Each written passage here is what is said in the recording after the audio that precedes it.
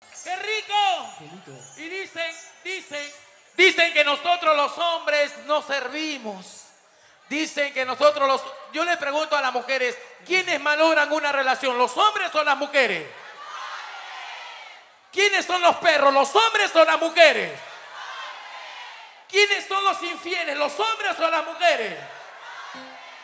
¿Y por qué gritan,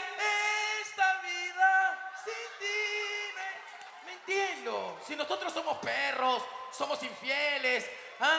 Pero ¿cómo gritan, no?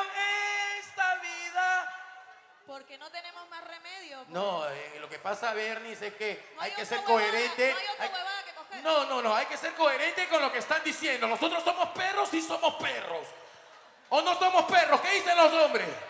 Sí, pero cuando viene el fin de semana te olvidas que el hombre es perro. ¿Ah? Todo por una borrachera, por chupar ahí. No, sí, los hombres son bien buenos. ¿Dónde están las mujeres independientes? Las mujeres que no dependen de un hombre. Las mujeres que dicen, no necesito de ti, huevón. Las mujeres que trabajan una bulla.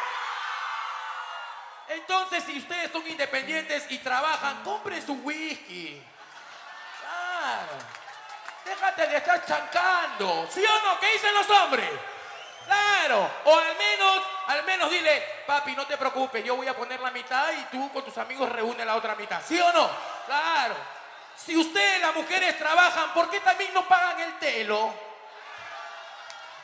Porque a las finales los dos nos vamos a saciar, los dos vamos a disfrutar. ¿Sí o no? ¿Cómo se pide la salsa? Dice, sa, sa, sa. Soy Mr. Sabroso, no te equivoques. Díselo, Bernie.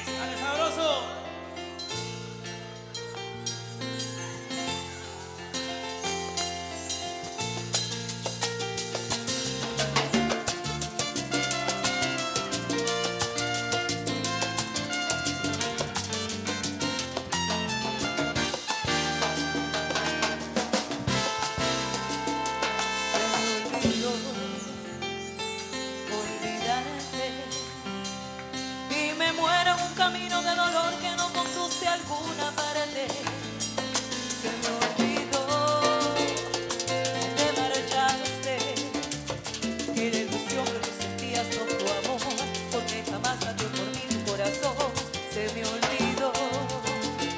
Y sigo viva y tengo mil caricias llenas de pasión para entregar a quien las pida sin recordar es otra vez vivir